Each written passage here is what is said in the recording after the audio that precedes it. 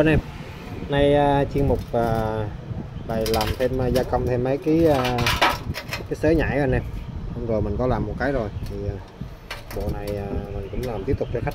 Khi uh, khách uh, uh, thấy cái video của mình là có có làm những cái bộ này được.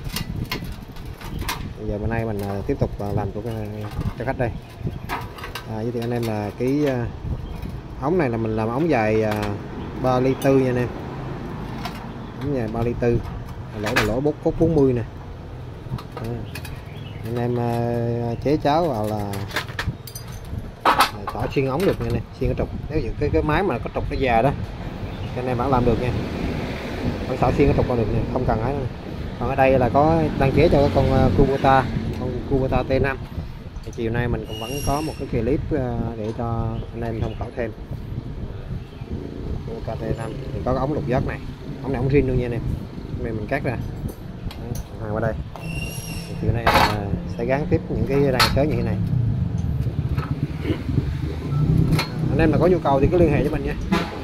Số điện thoại 0903 003 223 đây, cái lá cái lá này chiều nay gắn này. Lá này là lá lá sắt ba ly nè nè mấy cái đồ này là mình cắt CNC hết nha nè CNC hết. Hình hình hình thù như vậy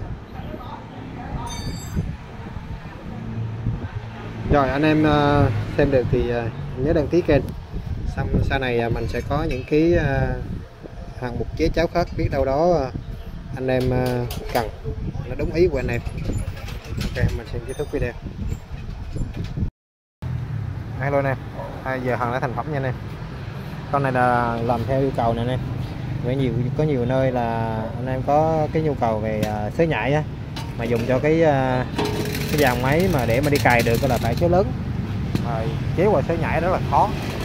Thì bây giờ cái đây là cái à, giải pháp để uh, anh em uh, tiếp cận với lại những cái dòng sới uh, độ chế để uh, lên cho con sới nhảy cho mình. Đây là mình làm trục lớn này. Trục nguyên riêng của nó có hai ba nhỏ lắm nên mình làm trục lớn luôn để cho nó không xuyên qua. Rồi anh em nào có nhu cầu thì liên hệ qua số điện thoại 0903 003 223 rồi mến chào anh em